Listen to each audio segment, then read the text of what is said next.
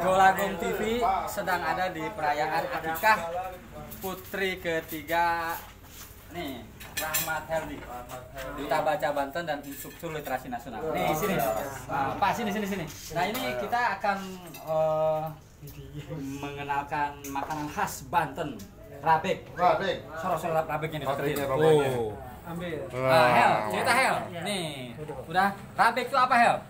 dalam literatur sejarah yang saya baca rabik itu berasal dari kata rabik Nah, rabik. sejarahnya adalah ketika Sultan Ageng Tirtayasa berangkat ke Mekah dalam konteks berhaji lalu kemudian mereka berhenti pada suatu tempat nah tempat itu dulunya pernah hancur karena diterjang badai lalu kemudian eh, makan makanan yang makanan itu eh, rasanya nikmat sekali sehingga kemudian ketika mau dicoba ke Kesultanan Banten ingat dengan makanan yang ada di Arab itu maka namanya rabik Rabek. dulu Rasa- namanya rabik Rasa pedasnya ya, Rasa rempah-rempah. pedasnya, rempah-rempahnya luar Coba biasa. wawancara nih Bapak ini. Pak, siapa namanya Pak? Wih.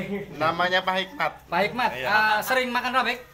Kebetulan saya jarang, Pak. Jarang. Jarang, jarang suka. Tapi eh, bagaimana rasa rabek? Ya luar biasa, Pak. Luar ciri, biasa. ciri khas Banten dan banyak yang menyukai. Oke, colok-colok nih. Karena Nih. daging kambingnya, Pak ya. Ya, Aha. ini kerbau. Kenapa kerbau?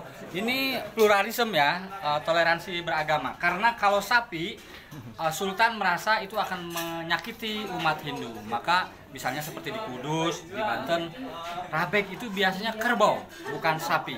Tapi sekarang sudah ada nih satu lagi, rabek kambing. Nah, apakah kuliner di kota Anda ada sesuatu yang khas? Golagong TV melaporkan. Eh, jangan lupa nih subrek. Sorry.